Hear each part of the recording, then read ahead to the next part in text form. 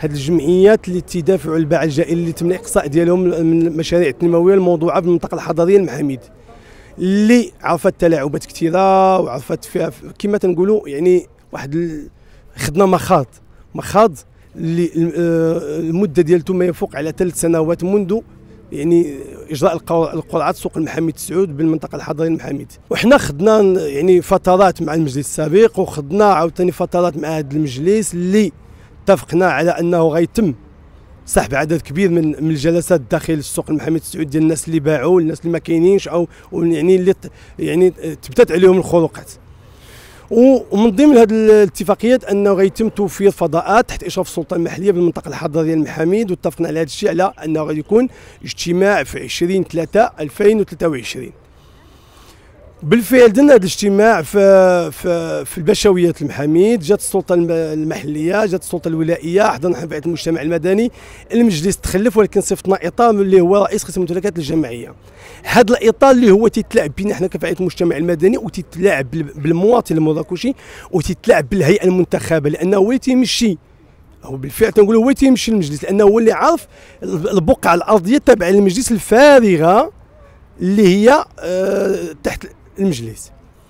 وما زاد الطين بالله هو البقعة الأرضية. دابا هذا المجلس بغينا ندويو هذا المجلس تلاعب بينا هذا السيد رئيس قسم تلاعب بينا حنا كباع جائلين وتلاعب بالسلطه الولائيه باش آه شهر جوج 22 يعني, يعني في براير 2022 تم السيد الوالي مشكور توقيع على أنه يتم واحد تفويض واحد البقعة أرضية تسمى بقعه الضاوي كانت موضوعة من أجل توفير سوق يعني إنجاز سوق نموذجي.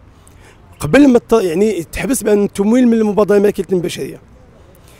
يعني دابا وصلنا لعام سنة كاملة.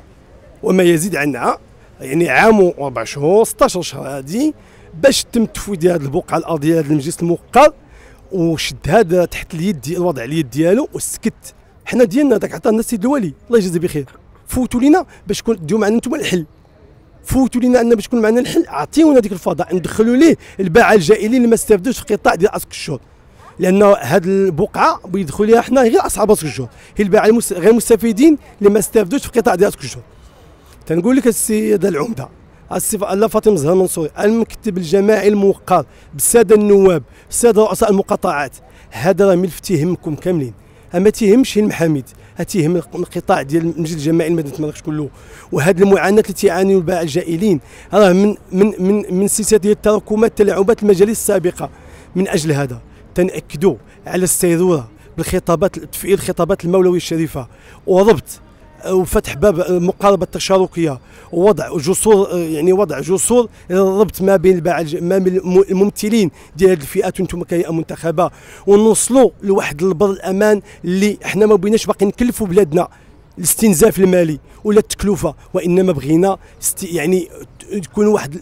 كما تنقولوا دائما واحد البقع حنا بغينا نساهموا فيها واحد النسبة من 20 حتى 30% نساهموا ونعطيو فيها حقنا ويدخلوا هاد الناس يستافدوا حنا تنطالبوا دابا بتفعيل قرارات السحب داخل سوق المحامي سعود اللي جابوا هذا المدير دابا تيتفلى على عباد الله تيبوانتي الجلسات خاوية وتيبوانتي الناس اللي شارية توفير فضاءات من أجل استوطان الباعة الجائلين بصفة مؤقتة حتى يتم وضع مشاريع مستقبلية.